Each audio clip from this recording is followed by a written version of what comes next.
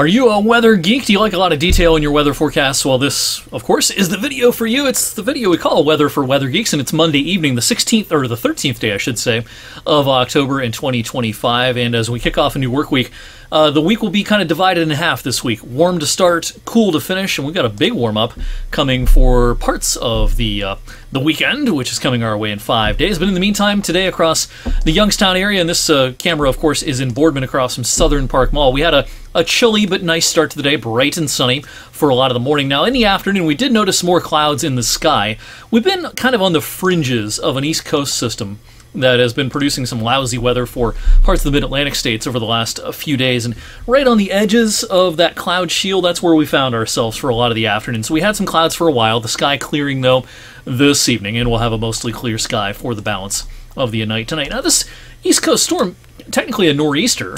Um, a lot of times we associate that term with winter storms, but any storm that rides up the eastern seaboard in this fashion, whether it brings snow or not, it's technically a nor'easter. It's not producing a lot of rain, but it has been producing problems with some coastal flooding and uh, some gusty winds as well. And it's not a very nice evening in places like Boston and Providence and New York City as well. But back here at home, things are pretty quiet. They're going to stay that way for the overnight tonight. Uh, we've only had two cooler than average high temperatures so far in October. We're almost halfway through the month. Today's high was six above the average, 69 officially at the airport this afternoon. Now the kind of the uh, the cadence of temperatures this week will be similar to last week. Last week started warm.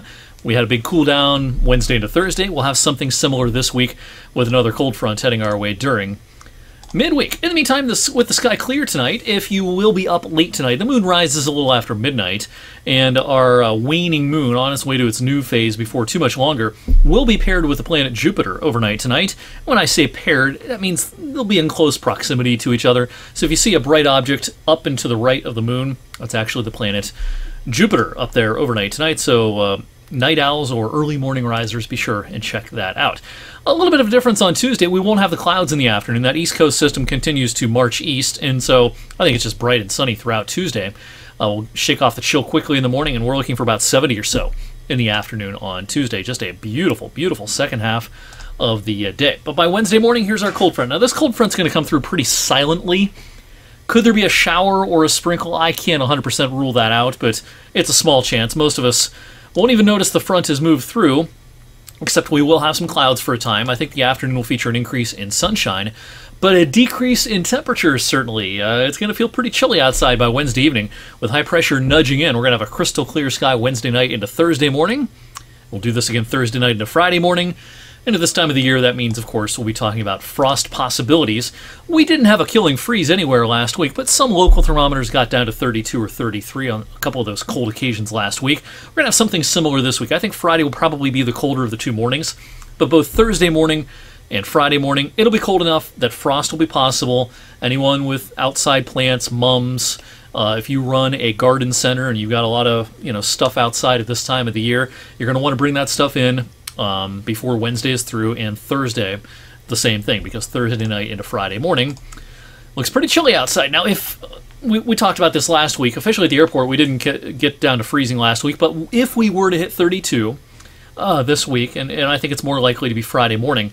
It'd be pretty much right on schedule. The 30 year average date of our first freeze of the fall season is October 16th, which would be what, Thursday?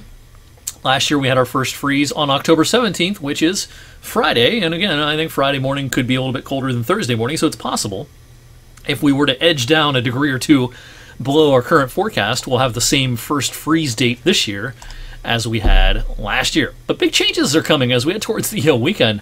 Uh, the atmosphere for one of the first times this fall is going to have a pretty potent area of low pressure. These will become a little more common, of course, as we head deeper into the fall season and towards winter. But uh, one of the first ones of these uh, will be on the weather maps by the weekend. We'll be on the warm side of this. Our low is out here Saturday, warm front up here like this, and it'll actually get kind of a little bit muggy on Saturday, uh, considering the time of the year. We wouldn't think it's muggy at all in the summertime, but for mid-October, a little bit of a humid day, a breezy day Saturday. I think we'll get up into the mid 70s on Saturday, and I think it's it's likely dry during the daylight hours Saturday. But Saturday night and then especially on Sunday, pretty good chance for some rain.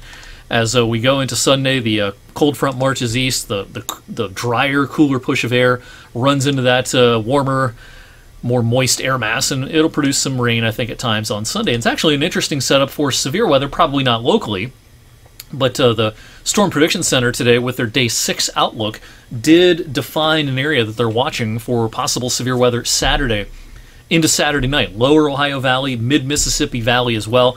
Around here, severe weather doesn't seem that likely to me at all, but on Sunday especially, could there be some rumbles of thunder in the mix? That's going to be a possibility for sure. Again, a pretty dynamic system coming eastward. Now, that system won't have the mother lode of cold coming behind it. Yes, we're going to get up to 76 on Saturday. We'll be 10 degrees colder on Sunday.